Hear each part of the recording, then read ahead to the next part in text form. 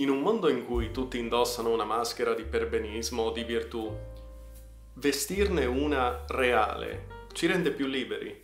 Ciao, io sono Alex, vi do il bentornato sul canale. Se vi interessano i contenuti che propongo ricordatevi di iscrivervi e di attivare la campanella per rimanere sempre aggiornati. Il libro del quale parliamo oggi è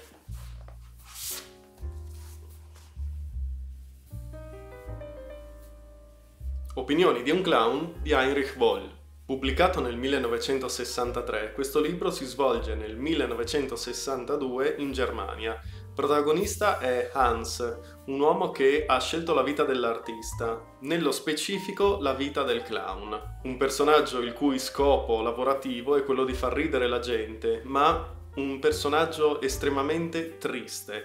All'inizio della storia, infatti, lo troviamo in una situazione veramente misera perché eh, si è infortunato, sta molto male e questo gli impedisce di svolgere il suo lavoro, le richieste sono sempre meno, i profitti sono sempre meno e come ciliegina sulla torta, per non farci mancare nulla, la moglie lo ha lasciato per risposarsi con un nuovo compagno. Nel punto più basso dell'esistenza, Hans si ferma e ripercorre la propria vita, ripensa ai rapporti difficili con la famiglia, ai rapporti con la società, con la moglie al loro rapporto, come è nato, come è cresciuto e come è arrivato ad una sua conclusione. Il tutto avviene in un crescendo di furia e di ira con se stesso, perché Hans ricorda di come aveva scelto di seguire questa carriera andando contro tutto e tutti, primo fra tutti il padre che gli diceva di non diventare un clown. Lui in ogni caso ha seguito la sua vocazione e ora, a questo punto in cui si ritrova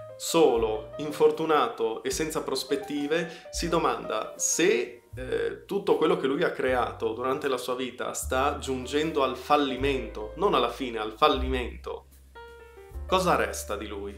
Il libro è soprattutto una feroce critica verso lo Stato e la Chiesa, ma anche verso la società composta da quegli ipocriti perbenisti che non sembrano ricordare il passato della loro società e del loro paese. La rabbia che lo muove, la rabbia che esprime a parole e attraverso mille pensieri atroci, è quella che lo porterà oltre a, a, criticare, come vi dicevo, ferocemente la società, sia quella che c'è stata durante la guerra e durante il post conflitto bellico e nella grande ripresa economica, dicevo, sarà una critica, una rabbia talmente forte che lo porterà a rifiutare anche l'aiuto che gli, che gli, arriva da parte delle poche, pochissime persone che gli sono rimaste vicine. L'inevitabile, triste, tragico destino che attende questo personaggio alla stazione dei treni col suo strumento in mano è, come dicevo, l'inevitabile epilogo di questo personaggio che in qualche modo rimane aggrappato a delle illusioni che forse sono l'unica cosa che gli permette di rimanere in vita e l'unica cosa che abbia ancora del valore nella sua vita. Che dire, il personaggio di Hans è carismatico, è potente, è... trascende le pagine del libro. Lui in qualche modo ci arriva come l'unico personaggio dotato di memoria Infatti sembra essere l'unico, man mano che andiamo avanti col libro, l'unico che si ricorda ciò che è stato, l'unico che ricorda che la Germania ha combattuto una guerra terribile, ne è, stata, ne è uscita sconfitta ed è l'unico che ricorda anche il mutamento che c'è stato all'interno della società. Nella grande commedia della vita, dove tutti indossano maschere di virtù e di pervenismo, lui risulta essere il personaggio più puro, perché in questo mondo di gente mascherata lui ne indossa una vera, una vera fatta di trucco, di parrucche e di nasi finti. Nonostante questo però Hans risulta il personaggio più reale e autentico del libro, mentre tutti quelli da compatire in realtà sono gli altri. Infatti voglio dire, come non empatizzare con una persona che scopre velocemente qual- quella che è la propria vocazione, la propria strada e decide di percorrerla nonostante il parere contrario di tutte le persone, comprese quelle che gli sono più vicine. Devo dire inoltre che il personaggio di Hans, per concezione, ma soprattutto per il dramma interiore che ci riporta, mi ha ricordato almeno in parte il personaggio del comico dei Watchmen, la, la serie di fumetti di Alan Moore che è uscita nel, a metà degli anni Ottanta, se non sbaglio. Il comico, colui che, a differenza di tutti i suoi compagni, aveva compreso quella che è la vera natura dell'essere umano, la vera natura della società e aveva scelto, con la sua maschera, con i suoi modi, di diventarne una parodia, per come l'ho vissuta io, Hans, così come il comico, indossando la propria maschera, non fa altro che mostrare all'uomo e alla società quella che è la loro reale natura, quello che è il loro vero essere dietro l'invisibile maschera a cui si nascondono. Hans non si trucca e non indossa la parrucca per mascherarsi in mezzo alla gente, lui lo fa per restare umano in un mondo in cui tutti quanti stanno perdendo la propria umanità. La vera domanda che quindi dobbiamo porci è come possiamo restare umani se cancelliamo il nostro passato, se cancelliamo la nostra natura?